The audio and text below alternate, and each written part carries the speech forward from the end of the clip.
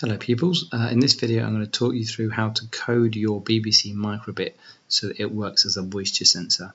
One thing that you will need is obviously the microbit and the attachment uh, using the prongs and you also need screws that go in on pin 1, 3 volt and the ground symbol so make sure those pins are attached properly with screws.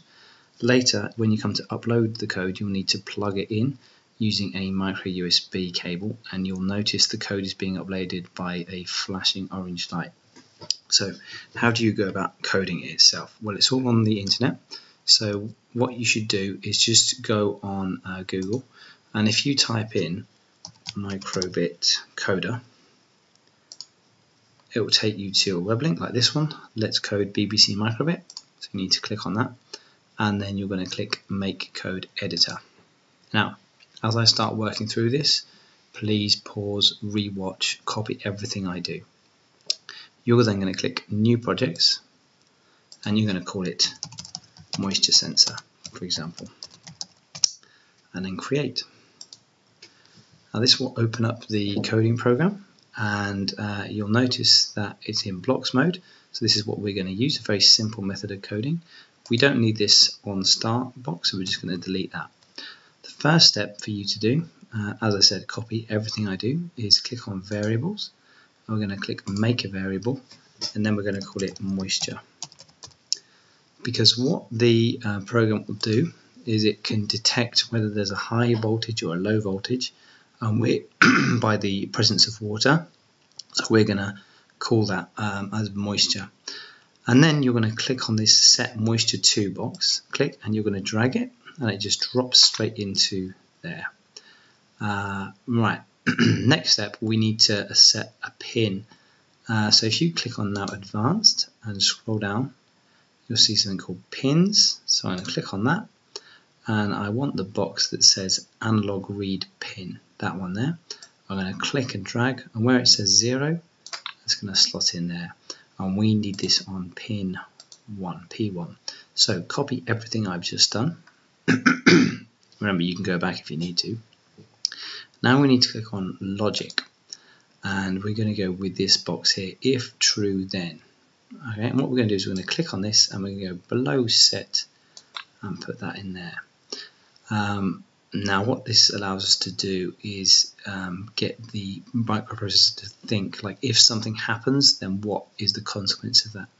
We're going to click on logic again and we're going to scroll down I'm going to go for this second comparison box and I'm going to click and drag this to where it says true.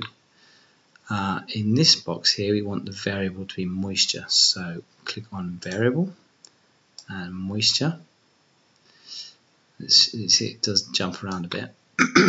And on this middle box we want this uh, less than or equal to symbol. Okay and we're going to write in here 300 now what that means is if the moisture has a low voltage reading of 300 then we want that the um, um, herb marker to tell us with a sad face. So I'm going to click on basic, show LEDs and drag this here.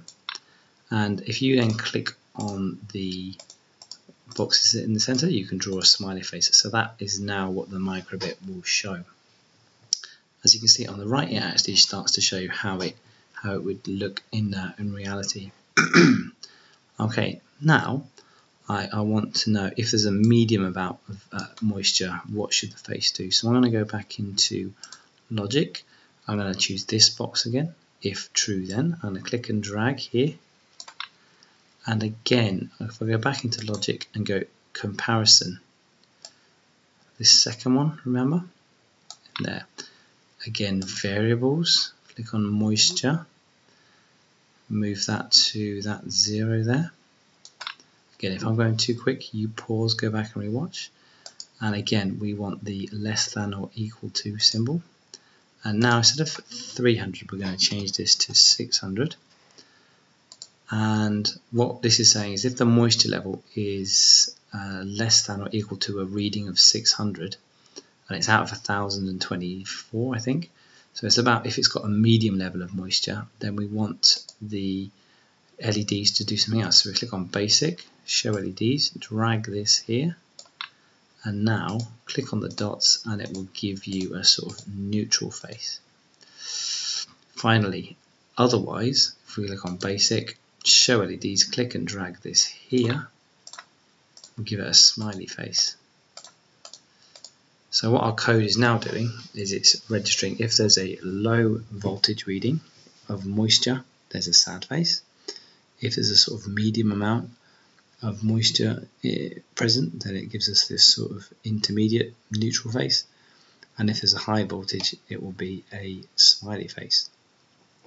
One thing I, I do need to add, um, which is in basic at the very end, if I scroll down, is pause, drag this between the two plus symbols, and change this reading to 2500 milliseconds what that means is that the um, microbit will go on a loop now. Uh, so every two and a half seconds it will be detecting uh, what the moisture level is. If it was doing it too quickly, then the face would change very rapidly potentially. So we don't want that. So pause, uh, and that the 2500. That now is all done. So I'm happy with that. Check my code over, make sure it's all correct. Now all you do is you click download, and um, the file will pop up there. I'm going to close this box. Now, if you go to your computer, so uh, in your downloads box, you'll see the code there.